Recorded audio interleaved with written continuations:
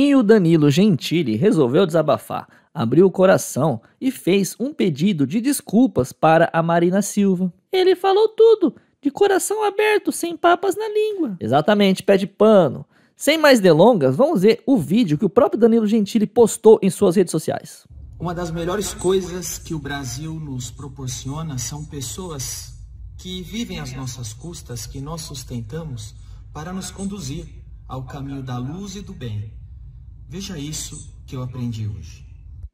Tá, ministro. Essa CPI conseguiu abrir a caixa preta.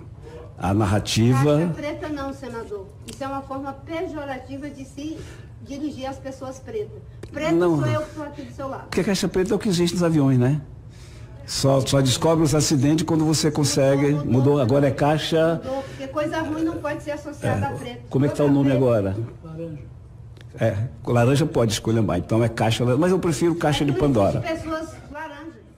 Então eu quero agradecer a Marina Silva por ter me ensinado que eu sou uma pessoa horrível, eu sou uma pessoa monstruosa, porque algumas vezes eu utilizei a expressão caixa preta na minha vida. Me perdoem por isso, eu prometo que eu nunca mais vou falar essa expressão, pois apenas monstros, apenas racistas falam coisas desse tipo. Eu comecei dizendo que o, professor, que o governo federal pode ajudar na articulação dos planos. O governo federal pode abrir a caixa preta de saber quem é que tem boa gestão, má gestão, para poder resolver, inclusive o problema. É...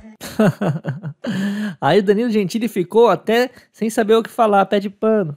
Ele até saiu do vídeo. Verdade, ele até saiu do vídeo aqui, ó. Parece que assistiu novamente. Então, Danilo Gentili fez um pedido de desculpas. Mas e você que assiste esse vídeo, qual a sua opinião sobre esse pedido de desculpas do Danilo Gentili para Marina Silva?